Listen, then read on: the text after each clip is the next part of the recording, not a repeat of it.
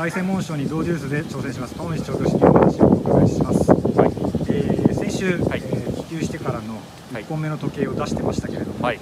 えーその見た目雰囲気はい。どのようにお感じになったか教えてください。そうですね。あの7月の26日に戻ってきてあの11日に初めて、えーシフトで時計出したんですけどもまあ本当にあの無理をしてないような感じで合わせる感じで出したんですけども本当に最後の伸びも良かったですしあの息の入りもね良かったのであの本当に順調に来てると思いますなんか見た目にボリュームアップしてるような感じもありますなんかこうパワーアップっていうか筋肉ついたような体になってるんですよもともとちょっとピッチ走法だったじゃないですかいやそれがますますなんかピッチこれねなってきたようななってきたような気がします。それはあのヨーロッパに行く上ではまあいいんじゃないんですけどプラスになると思います。でまあ来週？はい、でしたかねあのジョッキーが乗ってえー、24日の水曜日、はい。この駅はどのような感じでまあ、あのダービー以来ねあの乗るんで、まあ、その後の成長をね確かめてる感じ。と、まあ、これからあのフランス輸送もあるんで、まあ、その辺のどういうどういう感じでね調整したらいいかっていうそういうアドバイスもね受けれたらいいなと思ってます。でその調教が終わって以降ですよね、はい。でまあ出発までの予定を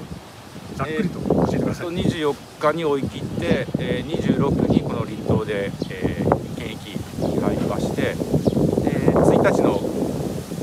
夜に離島トレセンを出発して2日の朝、えー9時発ぐらいの成田空港9時発ぐらいの飛行機であのフランスの方に向かう予定してます。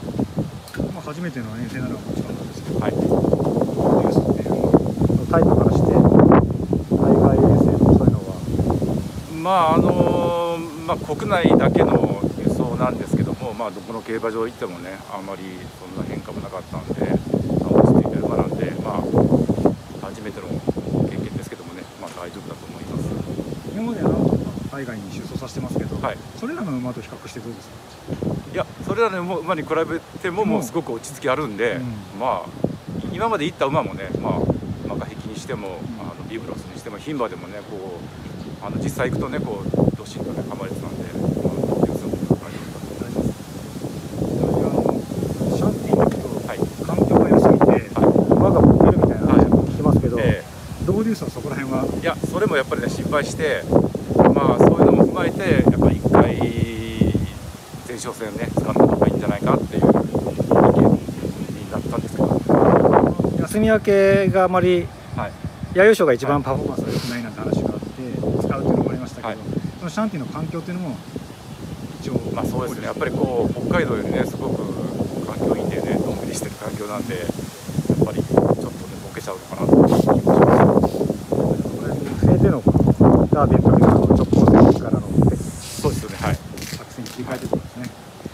かりました、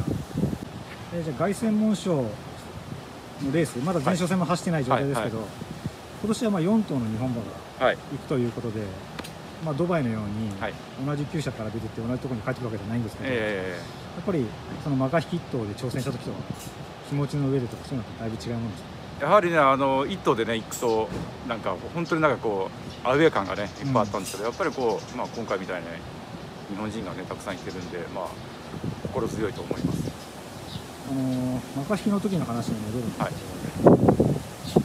あの馬が折り合いを最初変えちゃったじゃないですか、はいはいはいはい。あのマカヒキで書くことなんかないと思うんですよ。ああいうストップウォッチテープがやはりあのさっきも言ったんですけども、まあすごくね日本で落ち着いててあの輸送もうまくいって、まあ、調教でもね本当にあの日本にいる馬鹿行きとね本当同じ雰囲気だったんですけどもあの前哨戦のねあのニニエレ賞で初めてね競馬場行った時からねなんかちょっと雰囲気違ったんでやっぱりこう独特の雰囲気がねあるんだと思うんですよ。でドーデュースも見える賞ではそこら辺を確認したいな確認したいなと思うのとこうあの日本からね一緒にマイララプソディが行くんでね、あの前哨戦からもね一緒に行ってねどういう変化するのかというのをやっぱり確かめたいです。あのマイラプソティは前哨戦も同じ日のレースに使う予定なんですかあの、えー、オア賞オア賞はい。登録する予定してます。で2頭で行って。2頭で行って本当にそれでねうまくいけばうん。あの凱旋門賞当日もねあの一緒に2頭であのロシアまで行こうと思ってます。えー先生はあのダービーの時に、はい。武豊ジョッキーと一緒にダービーをかけて嬉しいという話をされてましたけど、今度はそれが凱旋門賞になるわけですが、そうですね、まあ、ダービーもね、すごく武豊ジョッキーにとってもね、まあ、一つの夢だと思うんですけども、それ以上にね、あの凱旋門賞を勝つっていうのをね、僕らもひしひしと感じてますからね、やはりそこにこう、僕らも参加できるっていうのがね、嬉しいですよね。まあ、ドーデュースでは武勝てなかった朝日杯を勝たした馬でもそうですよねあります。し、え結構初物尽くしなのかもしれませんなんとかそうそうですよね、はい、うん本当に。ちなみにこの間だマガヒの時はシャンティでしたけど、はいはい。今度はちゃんとしたロンシャンはい。で走ることになります、それに関しては何か？